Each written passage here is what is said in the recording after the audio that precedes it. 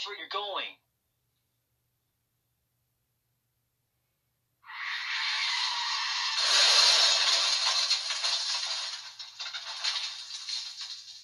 How dare you crash our car? That's it. You are grounded for 10 months and you will pay for that bore. What the heck was that crash? I think it was Annie's house that crashed. I got to see that. That was my car. Now Annie is going to pay for that car.